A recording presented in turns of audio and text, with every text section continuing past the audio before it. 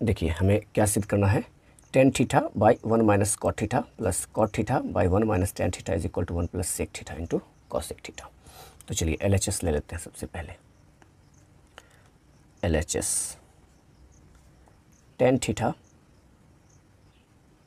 सभी पद को सबसे पहले हम लोग टेन थीठा या कॉट थीटा में बदल लेते हैं। तो वन माइनस कॉट को लिख सकते हैं one by tan theta okay plus cot को लिख सकते हैं one by tan theta by one minus tan theta ठीक है? चलिए, बराबर। टेन थीटा यहाँ इस वन के नीचे नहीं, कुछ तो एक तो होगा ना। तो क्या करेंगे आप? वन और टेन का एलसीएम हो जाएगा टेन थीटा ठीक है? तो एक से डिवाइड करेंगे तो कितना बचेगा? भागफल टेन ही बच जाएगा तो टेन गुने वन करेंगे तो आएगा टेन थीटा माइनस टेन को टेन से भाग करेंगे तो एक आएगा भागफल तो एक एक का एक। Plus one by tan theta. ठीक है? अच्छा इसके नीचे कुछ नहीं है तो वन तो होगा ना? तो इसे हम लोग इंटू लिख कर क्या लिख सकते हैं? One by one minus tan theta. Okay? फिर देखिए। कितना हो जाएगा? Tan theta. अच्छा बाई में ये है, बट्टे में इसके नीचे कुछ नहीं है तो एक होगा। इसे गुना लिख के आप पलट सकते हैं। टेन थीठा और ये बाई में आ जाएगा। Tan theta minus one plus एक को एक से गुना कीजिएगा तो एक ही आएगा, बट्टे tan theta into one minus tan theta ठीक है? अब देख लीजिए, जब टेन गुने टेन होगा तो कितना हो जाएगा?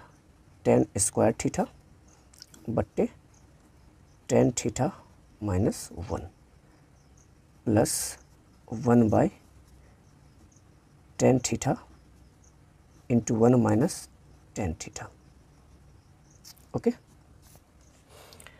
अब क्या करते हैं? एलसीएम ले लेते हैं। अच्छा एक चीज़ और ध्यान दीजिए। यहाँ है टेन थीठा माइनस वन यहाँ है वन माइनस टेन थीठा तो इससे हम लोग क्या करते हैं? टेन थीठा माइनस वन में लाने के लिए क्या करेंगे? कि अंश और हर दोनों को माइनस एक से गुना कर देंगे। अंश और हर दोनों को क्या करेंगे? माइनस एक से गुना कर देंगे। क्योंकि अंश और हर को समान संख्या से गुना करने से अनुपात में तो कोई फ़र्क नहीं पड़ता है। तो ठीक है। इसलिए हम अंश और हर दोनों में माइनस एक से गुना कर देंगे। तो इससे क्या फ़ायदा होगा कि tan square theta by tan theta minus one ये तो एज इट इज़ रहेगा। लेकिन ऊपर क्या हो जाएगा? प्लस गुना माइनस हो जाएगा ये। माइनस एक को एक से गुना कीजिए तो एक।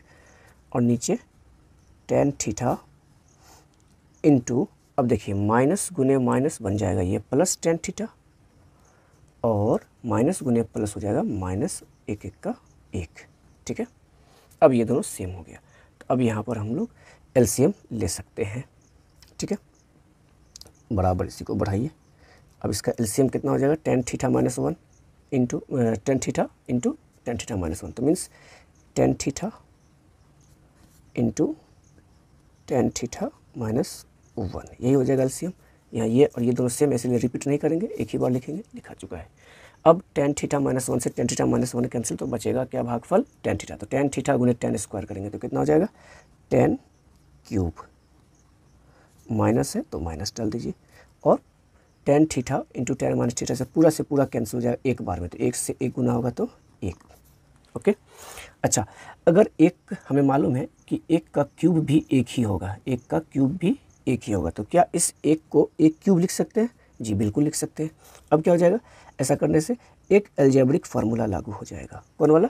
A cube minus B cube. बराबर कितना होता है? ए माइनस बी मतलब टेन थीठा माइनस वन, फिर इंटू ए स्क्वायर तो टेन स्क्वायर ठीक है? फिर होता है प्लस ए बी तो ठीक है। ए है टेन थीठा इंटू बी है वन। हो गया? A B A square plus A B plus B square तो बी कितना है? एक स्क्वायर ठीक है? ए क्यू माइनस बी के बराबर A minus B into A square plus A B plus B square उसी आधार पर मैंने इसे पुट कर दिया। और नीचे में क्या है? Tan theta into tan theta minus one देखिए टेन थीटा माइनस वन से tan theta minus one cancel हो जाएगा, क्योंकि सेम सेम है और इंटू में ऊपर भी है इंटू में नीचे भी है।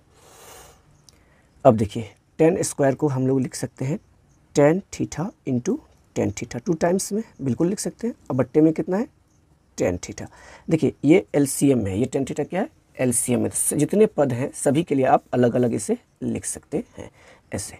फिर इसके लिए भी बट्टे में टेन आएगा। टेन थीटा बट्टे टेन थीटा फिर प्लस एक का स्क्वायर तो एक ही होगा। बट्टे टेन थीटा सबके लिए लिख दिए? टेन से टेन एक वन टाइम्स में कैंसिल, टेन से टेन यहाँ भी वन टाइम्स में कैंसिल, ठीक है? इस इस टेन को आप लिख सकते हैं। टेन को टेन ही रहने दीजिए, ठीक है? Plus tan by tan cancel होकर कितना आ गया? One, plus one by tan बराबर कितना हो जाएगा?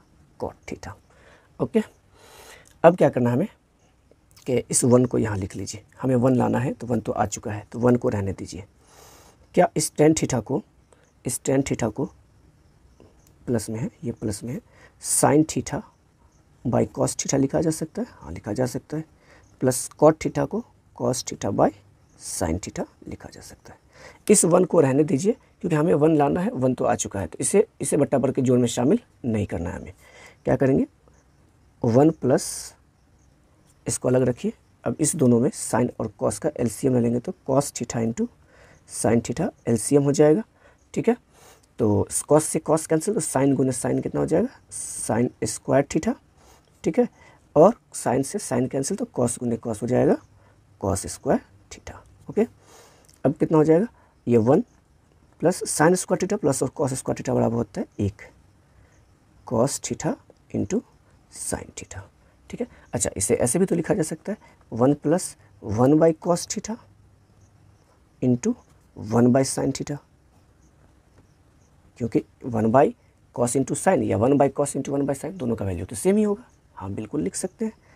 One plus one by cos बराबर कितना होता है? सेक थीटा और इंटू है तो इंटू वन बाई साइन बराबर कितना हो जाएगा?